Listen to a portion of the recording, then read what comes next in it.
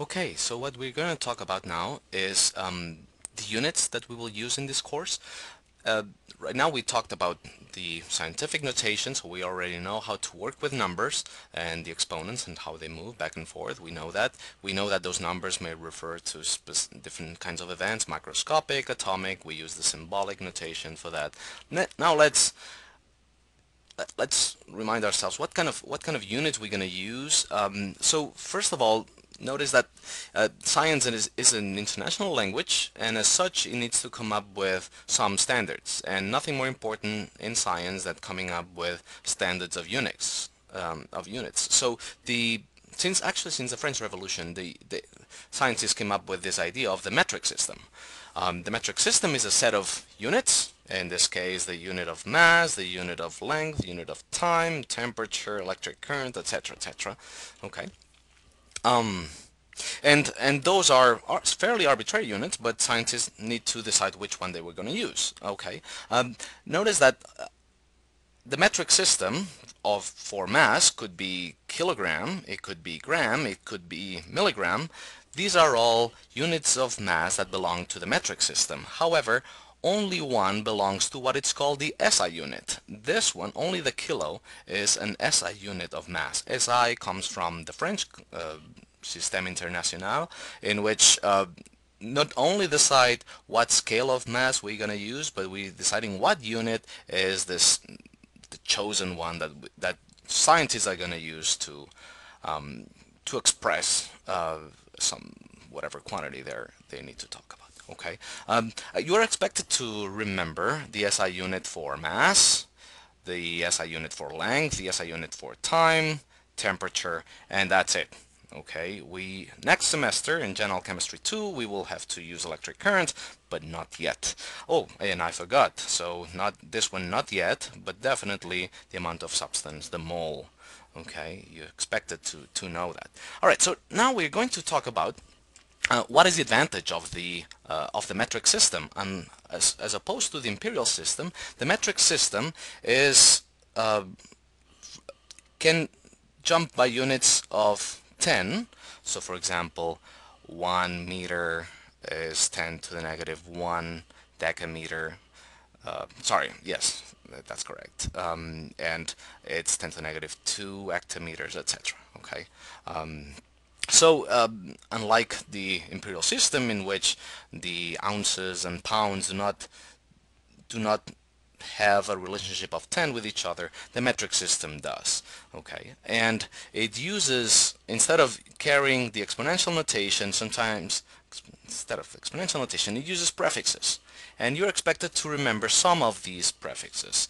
Definitely the kilo, the mega, deci, centi, milli, micro, and nano. Um, these are, you're expected to remember the, the symbol, the prefix, and also the exponential notation. So let's let's practice a very simple exercise to see um, how how we can work with a metric system. So for example, if we have 15 uh, a ballpoint pen of 15 centimeters and it's asking how long is this in meters? Notice that um, if we we have unit of two units of 10 right two powers of 10 between centimeters and meters. And so this means that if we have to make it into centimeters it will get smaller. So you could use 15 times 10 to the negative 2 we said two powers of 10 meters okay or if we are going to convert that 15 centimeters into micrometers, what's the distance between centimeters and micrometers? There is 4 units, 4 powers of 10, so, and in this case it gets larger, so it's 10 to the 4 micrometers. Now, if this way of jumping up and down is a little confusing to you, that's fine. We have a more systematic way to do these conversions, which is called factor conversion, or also known as dimensional analysis. And that's what we're going to do in the next slide.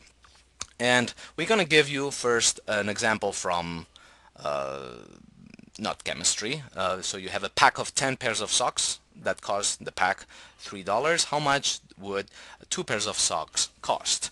That's called a factor conversion in which you are you are given a, um, you're in you write here what it's interested, what you're interested in convert, you apply the ratio, and that's the desired unit. How would you apply that in the sock example? So you're interested in no, converting pairs of socks, you have two pairs, and convert that into cost. So that would, the pair is the given unit, the cost is the, is the desired unit.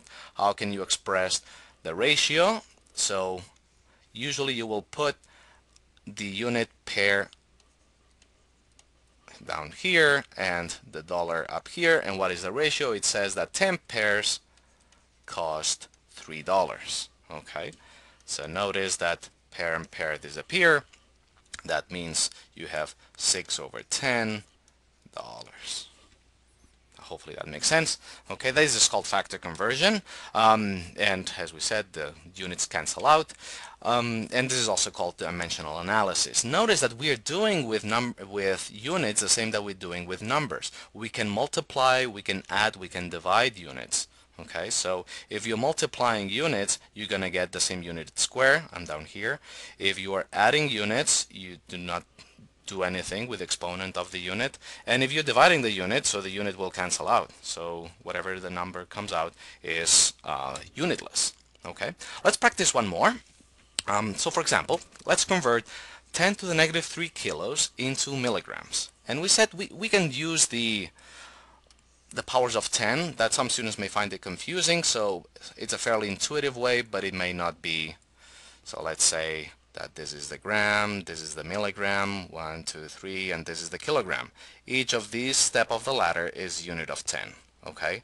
Now, this may be um, a fairly intuitive way because if we're going from kilo to milligram, milligram is a much smaller uh, unit. What is the how many powers of 10 are there here between kilos and milligrams? If you count one, there's six. So there should be a difference of 6 powers of 10 so you could say that 10 to the negative 3 kilograms I'm going to convert them into milligrams. There should be 10 to the 3 milligrams. Now um, but that's not using conversion factors. Let's use conversion factors okay?